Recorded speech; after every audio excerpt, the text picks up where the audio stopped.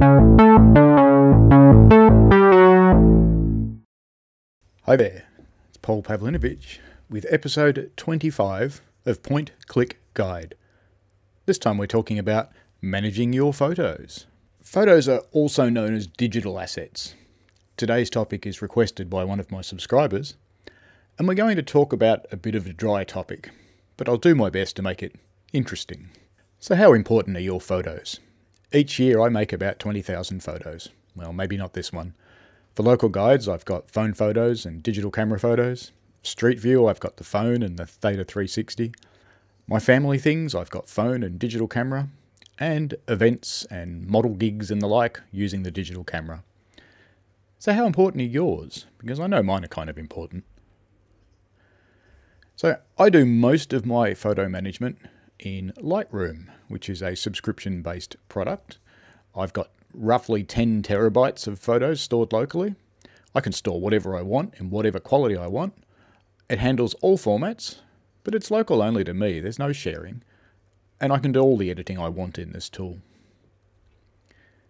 So when I ingest my images, that's the process of getting them from the camera onto the computer, I first copy them off the card onto a, a dedicated folder.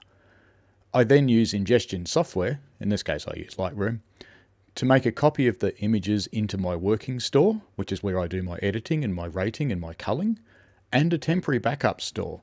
Now, the temporary backup store isn't kept very long, it only lasts as long as the edit session. We also have local storage, and for this I use RAID 1. This is an automatic duplication from one disk to another one. In this case, I use SSDs because I need the speed. This is not backup though, and a lot of people confuse that. And is this enough, or do you need more? Well, I'd say you need more. So, I've got a second RAID 1 array, and I make a manual copy using software called Perfect Backup. And this is true backup because I get a total copy of my working storage onto the other drives. Is that enough though? No. I also have a collection of external disks that I keep my current working material backed up to. And I try to keep one of those, at least one of those, at work, but this year, well, they're all at home, aren't they? I think we all know why.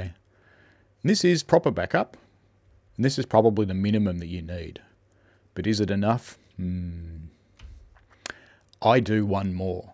So for all of my really important images, I also copy them into the cloud.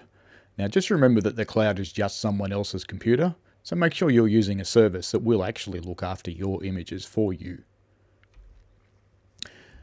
To keep my cloud costs down, I rate all of my images in Lightroom for anywhere from 1 to 5 stars, where 1 is truly awful and 5 is truly excellent. I'm quite ruthless about it, so only about 5% of my images achieve 5 stars, and those ones get backed up to the cloud.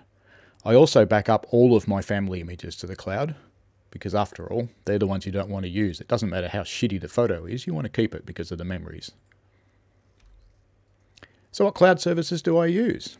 Well, Google Photos is an obvious one. Everything from my Pixel phone gets backed up there. And it's currently free for high quality images, but that's going to change. For people who have got a Pixel, you get to keep your free storage for a little bit longer.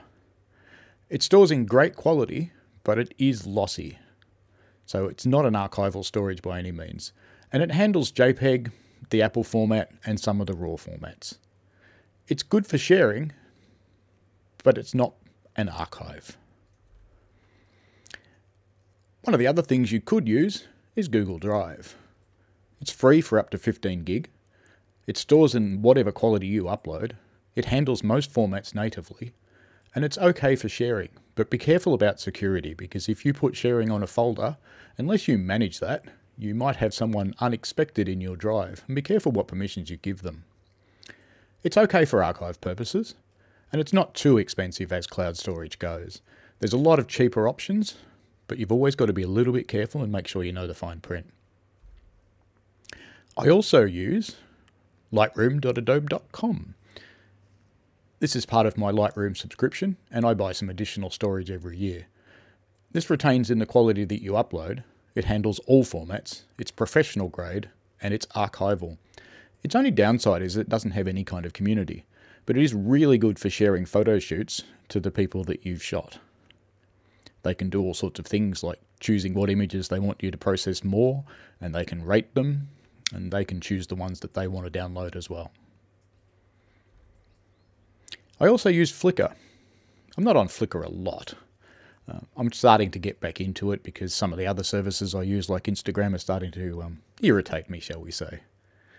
So Flickr's free to start for up to a thousand images, I think, from memory. And then you start paying for storage. It retains the quality that you upload. It handles all formats. It's considered professional grade, and it is archival, meaning they don't change your images. It's got a pretty good community if you can manage to get a following. Getting in this late in the game in Flickr is probably a little bit hard. You can see how many followers I've got. You can also see that I only follow one person, so I don't really help myself there. One important thing is that it avoids all the eggs in one basket. So, local guides you'd expect to be all Google. Well, have you had a Google service turned off on you yet? I've probably lost a few in my lifetime. When you're choosing a photography oriented cloud service, you need to ask yourself a few questions. You need to be aware of the storage and subscription costs. The services let you see your best images anywhere. Well, do they? Not always. Some of the backup services it can actually be hard to get to your data. How long does it take to recover your data if you need it? How long to download all of your data? Can you do it in bulk? Are there fees for a bulk download? Is it stored in archival quality, which means they don't change your images? And what happens when you die? Is there some kind of inactivity service that can send a message to a, a relative or a loved one who you trust to look after your images? I mean, I've got boxes of images from people from the past from my family, which I like to go through, and I'd like the same to happen to my digital collection. You've got to be really aware of the free cloud backup services. They look great because they're free to upload and they're free to store, but they've really got you when you want to get that data back. Often, they have a long lead time to recover, which can actually be months. Often, they're really slow to download and they limit the size, the count of the files, and the bandwidth that you can consume from their service while downloading, which is why it can sometimes take months to get your data back. Often they have a really big fee for the download because they know your stuff's gone, and this is where they make their money. And often they're not actually archival, so they reduce the size of your images, which means that you lose some quality.